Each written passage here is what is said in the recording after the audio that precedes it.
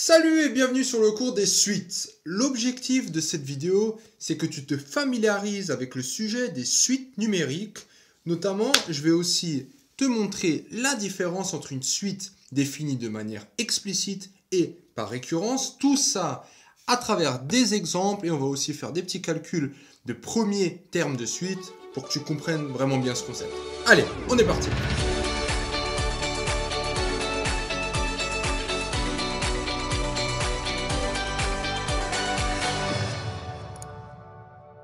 je vais avouer que le premier contact que moi, ou toute ma classe, je me rappelle encore, on a eu quand on nous a parlé et expliqué le concept de suite, c'était désastreux.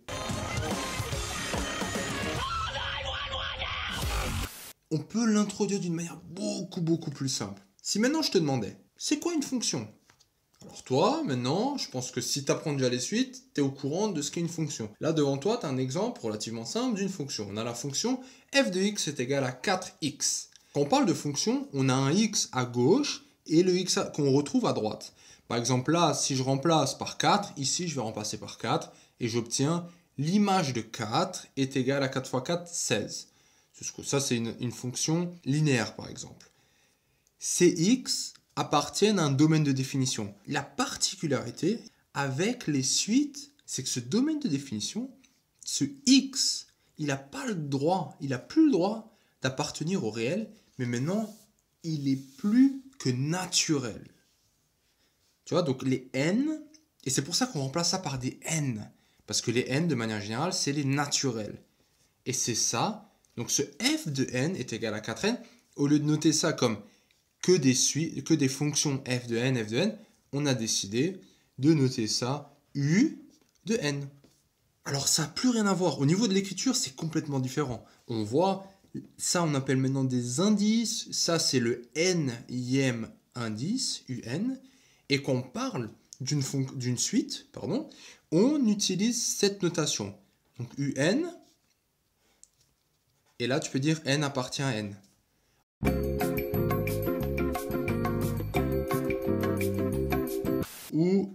UN, entre parenthèses.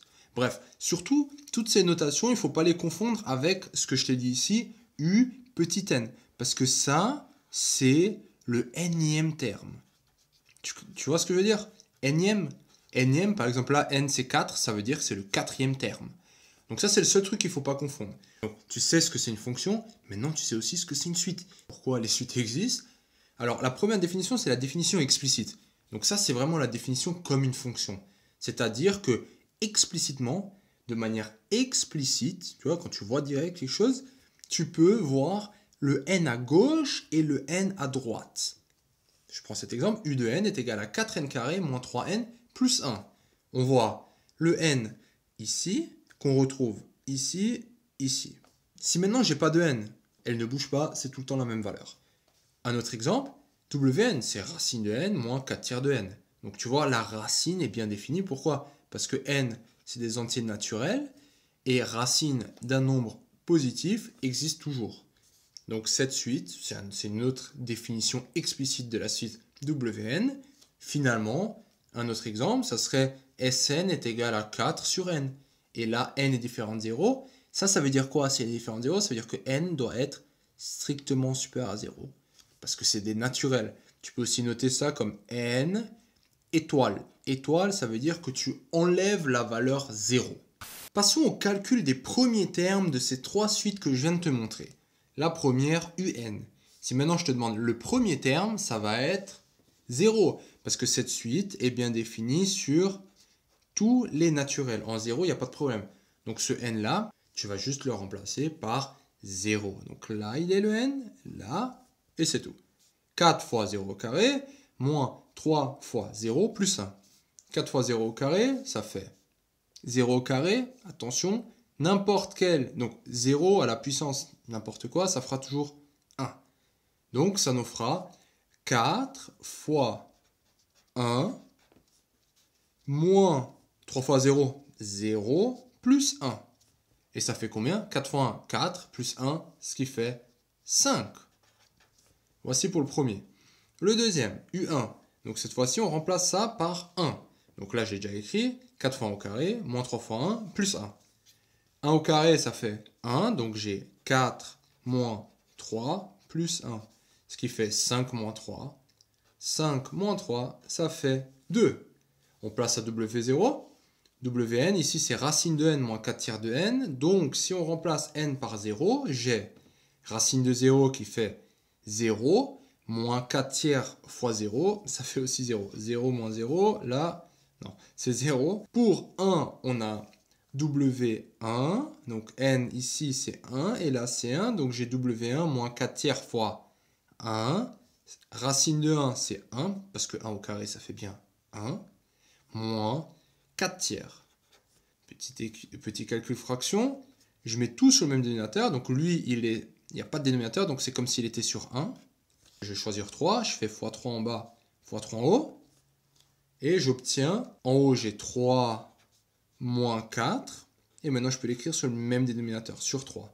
3 moins 4, ça fait moins 1 sur 3, moins 1 tiers, qui est égal à W1. Premier terme de Sn. S0, je vais avoir quoi?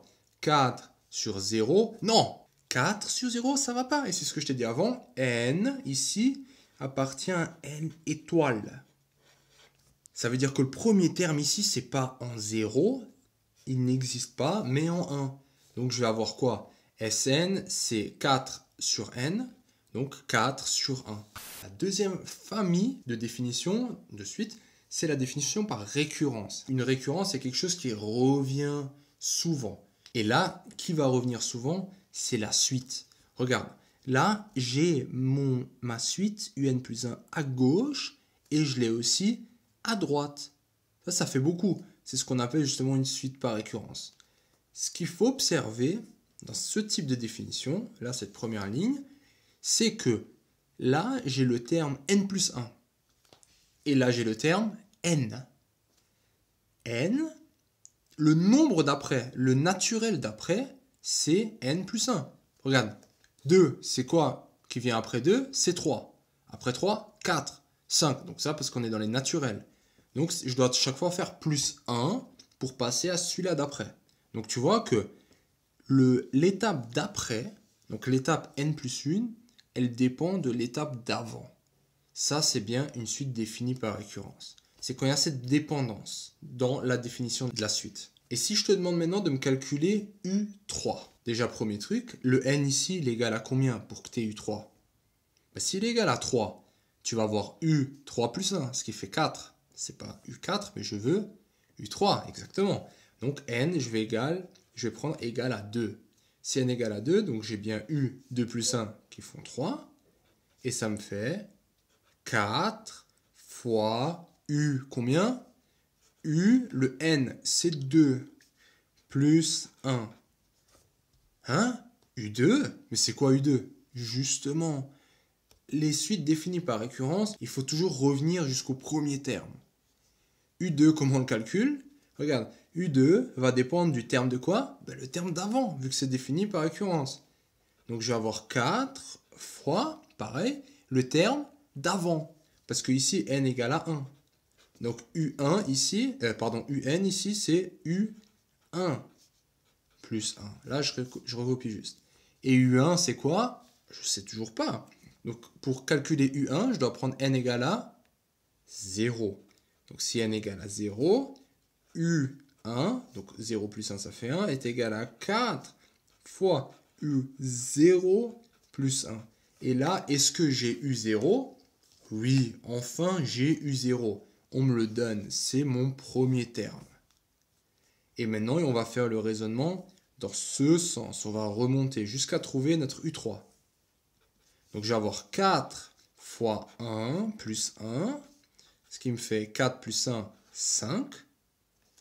Donc U1 est égal à 5, et je peux remplacer. Donc j'ai 4 fois 5 du coup, que je viens de trouver, plus 1. 4 fois 5, 20, ça fait 21. Du coup j'ai U2, et je peux remonter. 4 fois 21 plus 1. Alors 4 fois 21, donc 4 fois 20, 80. 80 plus 4 fois 1, 4, donc 84. 85. Et là, j'ai enfin calculé U3. 3. Voilà. Félicitations d'être arrivé jusqu'au bout de cette vidéo.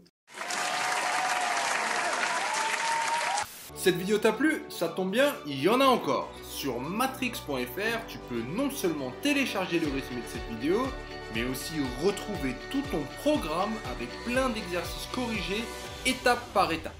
Tu peux aussi défier tes amis dans des jeux et te mesurer à la communauté Matrix pour gagner un cadeau tous les mois. On se retrouve sur matrix.fr.